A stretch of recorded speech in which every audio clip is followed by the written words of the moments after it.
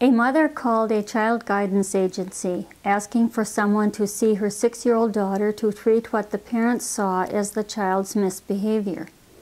Intake noted the family included mother, father, six year old girl, and two year old boy.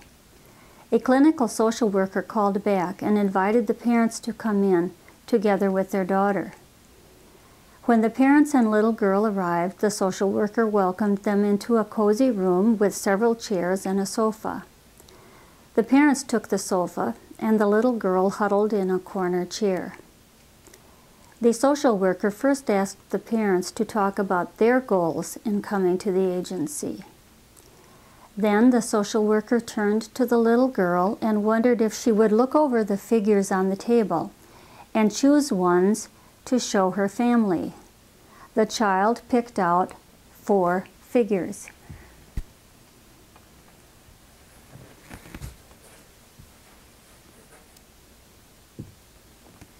Then the social worker asked if she would show how it feels to her in the family right now. And this is what she did.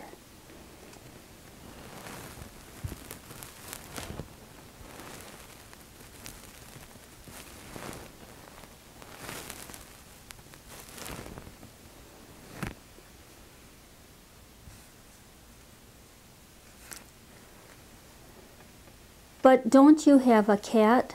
she asked wistfully. The social worker found another small object and handed it to the little girl who moved it quickly to her side. Then there was a short pause, and then the mother crossed the room and put her arm around her daughter, saying, Honey, I had no idea you felt so alone. You can see how in just a few seconds the child shows through family sculpture how alone she feels. The sculpting reframes the presenting problem for the family.